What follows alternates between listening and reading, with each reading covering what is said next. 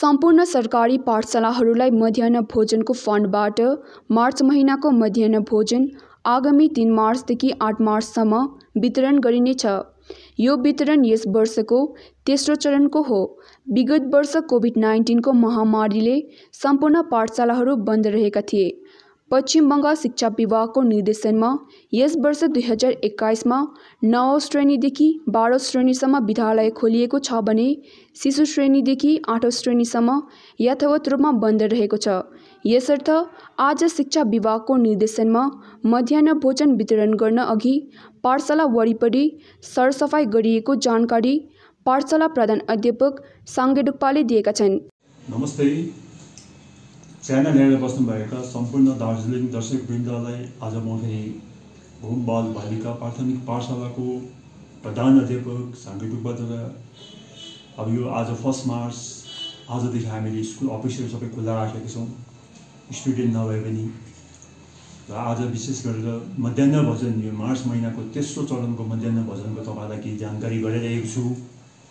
र तेस्रो चरणको मध्याह भजन तिन तारिकदेखि आठ तारिकसम्म दिइरहेका दिइरहेका छन्।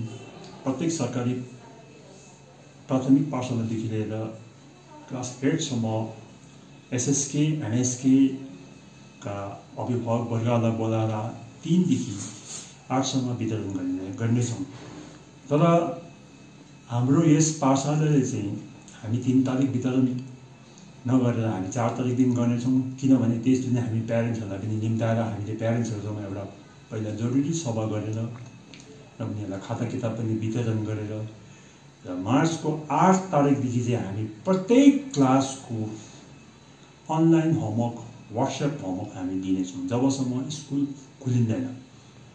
त्यस कारणले गर्दा उनीहरूकोबाट हामी सम्पूर्ण विवरण त्यस दिन दिनेछौँ। र अहिले पनि वर्तमान समयमा पनि कोभिड नाइन्टिनले गर्दा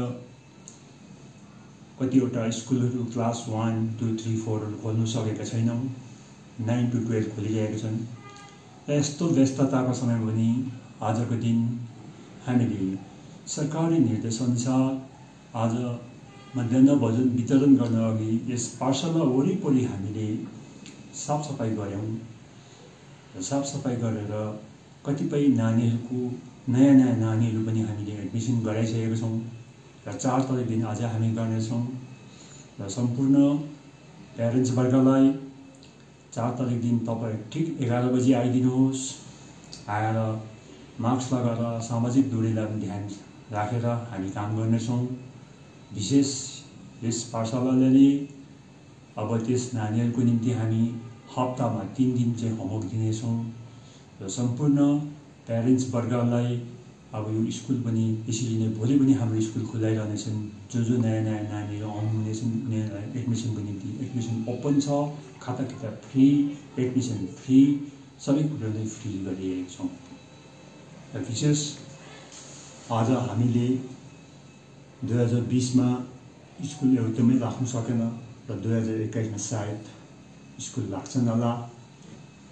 मे जुनतिर त्यस्तै कुरो सुनिँदैछ विशेष गरेर आजको यस यस जुन चाहिँ मध्याह भोजन विषय लिएर मैले सानो एउटा तपाईँहरू समक्षमा जानकारी दिनुपर्ने थियो त्यो जानकारी र यसपालिको मध्याह भोजन चामल आलु साबुन मात्र नभएर अरू अझै थप कुरोहरू पनि त्यसमा थपिदिएका छन् चिनी पनि छन् आधी किलो न्युट्रेला पनि छन् दुई सौ ग्राम त्यस्तै प्रकारले दाल पनि छन्। र सबै सबैले यो सरकारले दिएको सहुलियतहरू चाहिँ तपाईँहरूले लिनुहोस् भने अनुरोध गर्दै आजलाई यो मेरो सानो यो भनाइ र फ्रेस यतिमै समाप्त गर्दछु। धन्यवाद।